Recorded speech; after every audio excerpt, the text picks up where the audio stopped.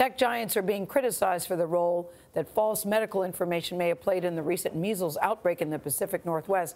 Congressman Adam Schiff sent a letter to Google and Facebook last week asking how they manage posts from the anti vaccine community. Schiff said he is deeply concerned about declining vaccination rates, and he asked for additional steps to address the growing problem. And we reached out to Google and Facebook for their comment. Google said that YouTube, which it owns, is linking certain health topics to third party sources.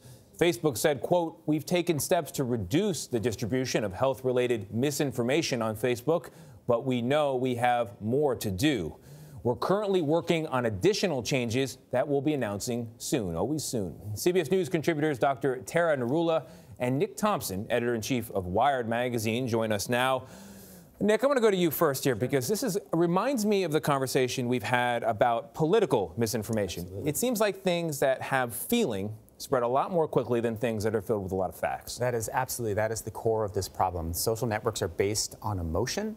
So content that makes us feel emotional, whether it's fear, whether it's uncertainty, mm-hmm. that spreads really quickly. So as they say, a lie gets halfway around the world before truth can get its boots on. Science magazine made an interesting point here. They said false news was more novel than true news and thus and people were more likely thus to, sh- to share it. It's more novel and there's also an asymmetry where the people yeah. who are spreading truthful information are reserved and thoughtful. And the people who are passionate yeah. about misinformation are out there just putting tons of stuff on the internet. So it's passion and there's an asymmetry. Are you finding, Tara, that your patients are more skeptical when they come to you or they come armed with this is what I learned on the internet? Absolutely. We see it very often. You know, health information, they say, has now become democratized, which in a way is good. We want our patients to be educated. But certainly, I think there's more of a lack of trust in the medical profession, number one. And number two, people don't always see their doctor as the final authority. Yes. They go to Google, Dr. Google, to get a second opinion. They go there because it's easy. They're not going to have any judgment. They don't have to pay a copay. Uh, and so, and they don't have to make a time for an appointment. But, you know, the, the issue is that we see this being a very widespread, not just relating to vaccines, but medications like statins, supplements uh, that promote uh, wellness, anti-aging, weight loss, uh, anti-cancer or cancer treatments uh, that are alternative. And the issue is that you know some of these misinformations can be kind of ridiculous and maybe not so harmful. Like taking a chocolate every day is going to help your heart. Some that's can not be, good for you. Well, 40 push-ups. 40 push-ups. Yes, some can be right, right. a little misleading, yeah. but some can be outright dangerous, as we see in the case with vaccines. Some yeah. can be costly, uh, and some some can just promote unnecessary fear. So, what's a patient to do? Well, a patient should talk to their doctor. a patient should be skeptical. And I also think one of the really important lessons is that Dr. Google can get better. the engineers can make the internet a source of better information by changing the way the algorithms work. But the algorithm makes them money in its current yeah. form. form yeah. So if feelings are what pay the salaries of everyone working at these tech companies, mm-hmm. how can one doctor at a time really overcome that?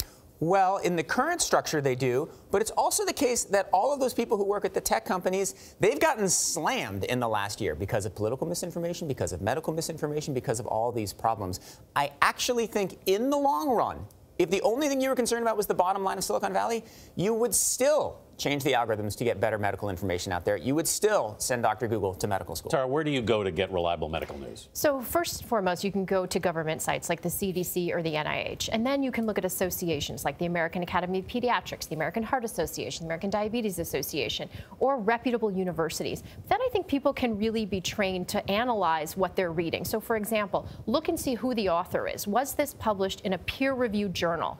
Uh, who funded this study? Who's benefiting from it? Was it one study? Study where you may not want to base your decisions on it, or was it multiple studies? How many subjects were studied? 100 or 500,000? What kind of trial? An observational study? Not the best, or a randomized control trial? Much better to make your decisions on. So, but just this morning, though, we had a story about doing 40 push-ups for men. Yes, I saw. Good for your heart.